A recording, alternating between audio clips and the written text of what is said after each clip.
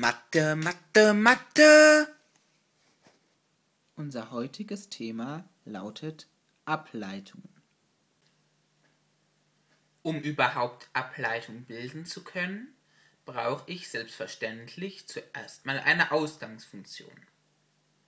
In meinem Fall lautet diese Ableitungsfunktion f von x gleich x hoch 3 plus 2 x hoch 2 plus 4x plus 6. Das ist jetzt in dem Fall meine Ausgangsfunktion und davon möchte ich Ableitung bilden. So, um Ableitung bilden zu können, gibt es verschiedene Regeln. Zum Beispiel, dass man eine Ableitung immer als f' von x definiert.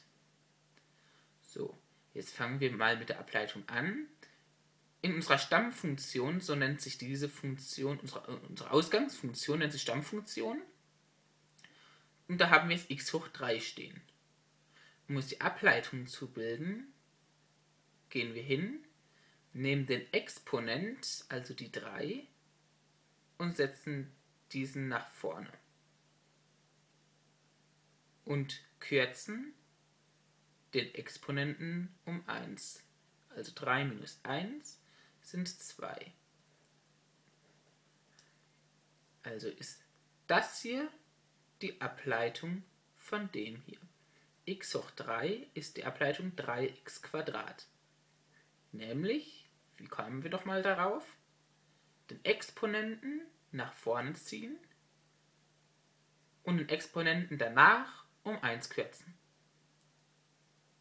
Genauso machen wir es beim nächsten. Allerdings haben wir jetzt hier die 2 hier vorne stehen.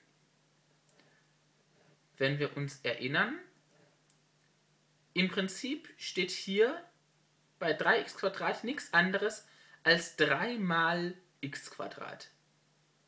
So steht auch hier 2 mal x Quadrat. Ziehen wir jetzt also die 2 nach vorne, haben wir hier stehen 2 mal 2 mal x hoch 1. Und 2 mal 2 sind 4. Das können wir ja direkt ausrechnen. Also da haben wir hier stehen 4. Den Exponenten, ich habe es ja im Prinzip eben schon verraten, kürzen wir wieder um 1. Das heißt, wir haben hier stehen x hoch 1. Das hoch 1 können wir uns sparen, ist das gleiche wie 4x. So, jetzt zum nächsten. Da haben wir 4x stehen.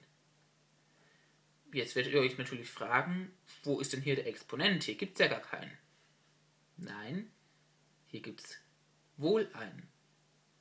Denn dieser lautet 1. Im Prinzip steht hier 4x hoch 1.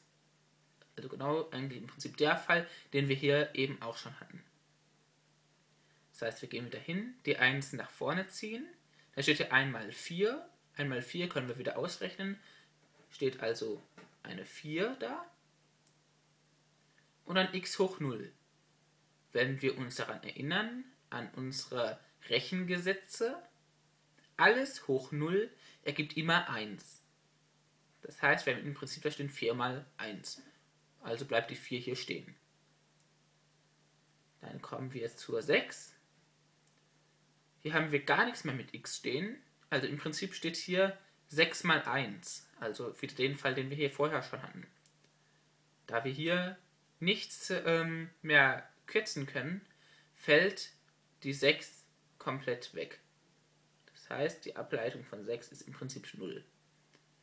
In den nächsten Zeilen werde ich mir das sparen, das plus 0 hier hinzuschreiben. So, machen wir mal die nächste Ableitung, die zweite Ableitung. Die nennen wir dann f', also zwei Striche hier oben von x.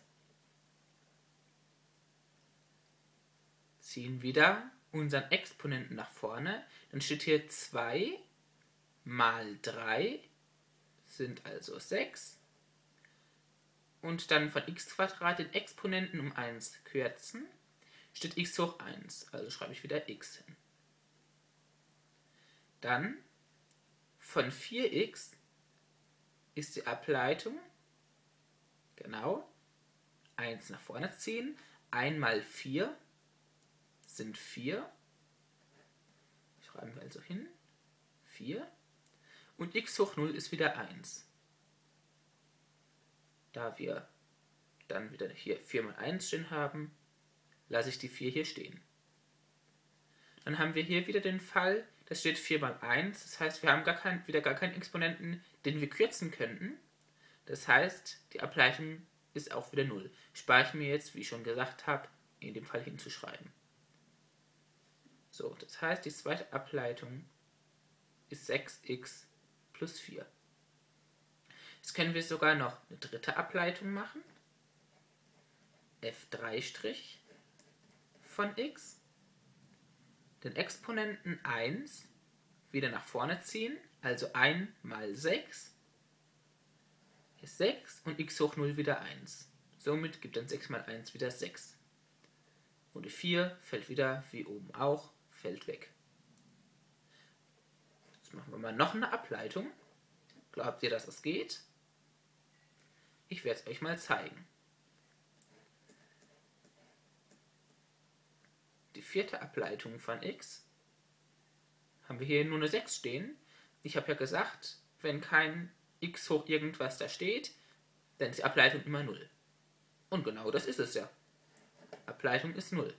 Und somit sind alle, alle weiteren Ableitungen von dieser Funktion 0. Und so einfach geht das im Prinzip. Ich wünsche euch viel Erfolg beim Lernen.